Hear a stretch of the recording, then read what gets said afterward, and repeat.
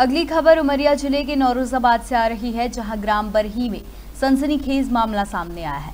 आपको बता दें कि नाले से महज 500 मीटर दूर एक खेत में कुएँ में तैरता हुआ शव मिलने से इलाके में हड़कंप मच गया है।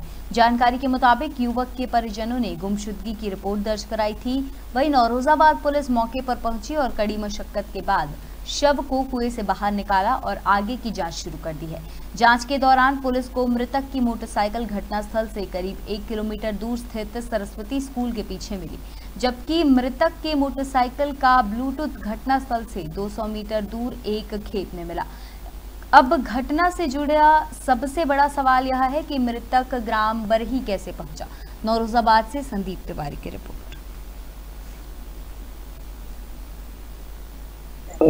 आज सूचना मिली थी कि बंदा नाला के पास कुएँ में एक लाश उसमें तैर रही है।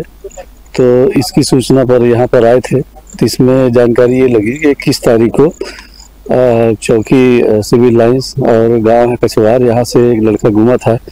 इसका नाम राहुल है। राहुल रजक है। राहुल रजक वहाँ से इक्कीस तारीख घूमा था, तब से पुलिस ने गुम इंसान कायम किया था। और उसको लगातार गुम इंसान दस्तियाब करने के लिए उसको सूचना पर कार्रवाई की जा रही थी। उसी तारतम्य में आज उसकी शिनाख्त इसी रूप में हुई है क्योंकि इसका मोबाइल यहाँ पर पाया गया था। आ, उसके आधार पर इसको आगे की विवेचना और आगे इसमें पंचायत थाना कार्रवाई की जा रही है मर कायम किया गया है। और आगे जो भी वैधानिक कार्रवाई होगी जो भी साक्ष्य होंगे उनका संग्रहण किया जाएगा और अंतिम कार्रवाई इसमें विधिक कार्रवाई की जाएगी।